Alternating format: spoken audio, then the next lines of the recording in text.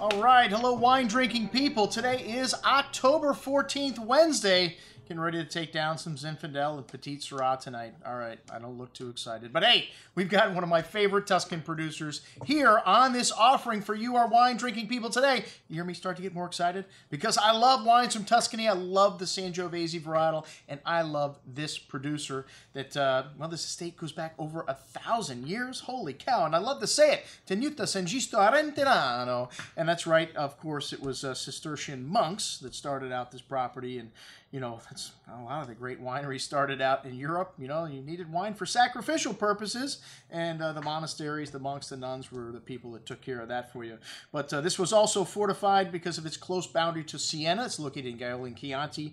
And the estate today is owned by the Martini di Cigala family. It's family run. It's 160 hectares, uh, which is a rather large estate, uh, 270 meters above sea level, and uh, just 31 of those are planted to vineyards. The rest are, of course, olive groves. You got olive oil. We don't have any other olive oil, but um, it's fabulous. We've had it in the past. And then grazing lands, of course, they've probably got some livestock out there.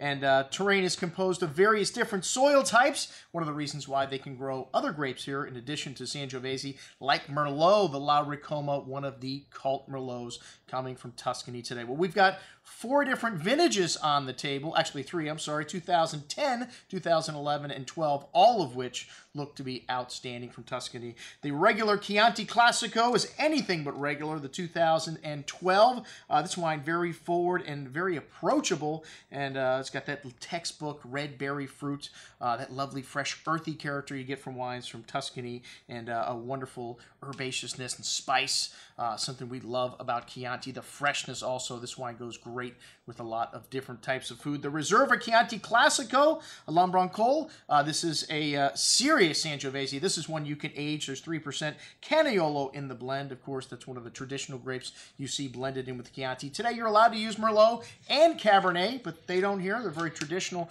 with the Chianti. They do have uh, a Super Tuscan, which is absolutely incredible. The Percarlo, which has gotten 95 plus scores in various vintages. This 2010 looks to be outstanding in Tuscany. It's getting rave reviews from the critics. And uh, 2011 also getting some great reviews in this La Ricolma, which is 100% Merlot. A lot of people don't associate word Merlot with Tuscany, but this wine is one of the cult wines of Tuscany. We only get one case of this wine a year. I think we only got one case of Percarlo. So these wines incredibly rare. Some of the top wines coming from Tuscany from a great estate uh, that they've just brought in uh, Antonio Paglioli, which uh, he's the uh, Attilio, sorry, uh, Pagli, which uh, he is also working with Valdicava, one of our um, most famous uh, Brunello producers, and a new agronomist, uh, Ruggiero Mazzilli. And uh, these guys are kicking it up a notch here. These wines better than ever. So check them out. Some outstanding vintages from one of our top producers here in Tuscany. Tenuta San Giusto a Rentennano. Say it again. I'm your host, Andrew Lampasone, signing off for the Wine Watch, saying remember, always drink the good stuff first.